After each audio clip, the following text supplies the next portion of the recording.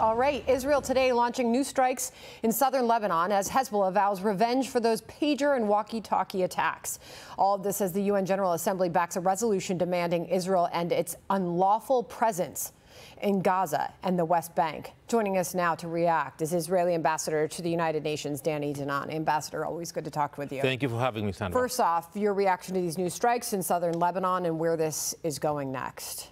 You know, we are not commenting on what happened in Lebanon in the last few days, but I will tell you that we will bring back the Israelis who live in northern part of Israel to their homes. Mm. For 11 months, they are displaced. So we are trying diplomacy. We are very patient, but the, the point that we have to say enough is enough.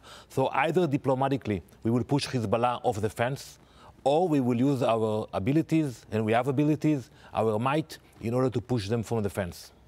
On the latest round of these attacks, now walkie talkies, pagers first. This is the second wave of these attacks. Hezbollah vowing revenge. Where does all this go, and what is this new warfare?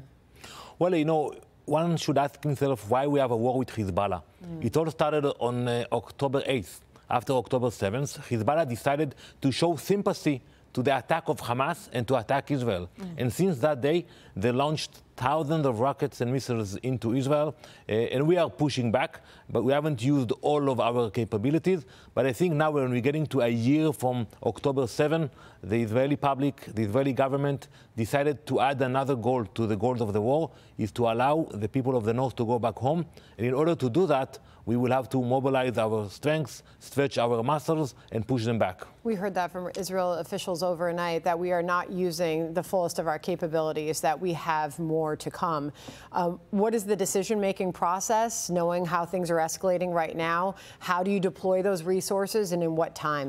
Well, we still hope that there will be a diplomatic uh, solution. There are a few negotiators trying to negotiate a deal, and they're telling both sides, even if you go to a war, at the end of the war, you're going to have to come, sit down, and come to some kind of an agreement. So let's do it before uh, the war. But, you know, when you look at uh, Hezbollah, you understand they are not deciding. Iran is behind uh, the proxies the Ayatollahs are actually sending the proxies to fight with us. So it's not for them to decide, and I'm not optimistic about that. Because I think, unfortunately, uh, we will have no choice but to push them with our might from the border. Yeah, incredible strength on the part of the Israeli people and on the part of the Israeli military. Meanwhile, an Israeli man was arrested over an alleged Iranian plot to assassinate uh, Prime Minister Benjamin Netanyahu. Obviously, this is amid all of these growing tensions, Ambassador.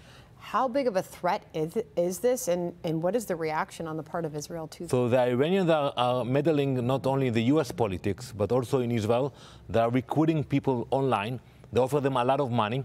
Uh, in order to create chaos uh, in Israel. Unfortunately, we cannot go into the detail, but this individual got involved. He actually flew to Tehran I don't know if he was paid or not, but they're doing a lot of, of damages, trying to infiltrate both here in the U.S. and in Israel with their money.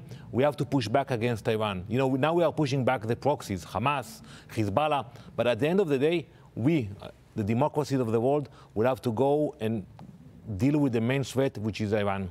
Throwing one other thing into the mix here amid these escalating tensions is the Iranian uh, meddling in U.S. elections in the United States response to it. So, what do you? How would you generalize the United States response right now? Obviously, as we work our way to a presidential election, just weeks away now, and how we are responding to the growing threat that is Iran. Well, I'm sure you have the capabilities, but you have to be aware that the Iranians ignore protocol, they ignore diplomacy. They will be more involved than you can imagine. We see it in Israel. We uh, have seen cyber attacks in the last 24 hours. They were actually texting uh, millions of Israelis false uh, messages, trying to uh, scare them about attack coming from Lebanon. They will do the same here. You have to be prepared for that.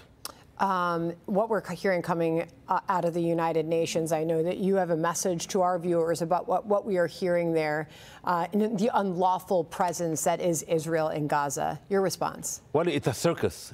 Yesterday, they passed a resolution condemning Israel, trying to isolate us.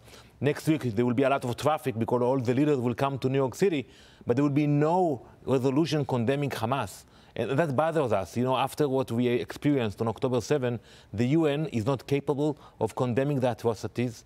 They are not capable of actually saying Hamas. Mm. Uh, but what they did yesterday was condemning Israel. It's shameful.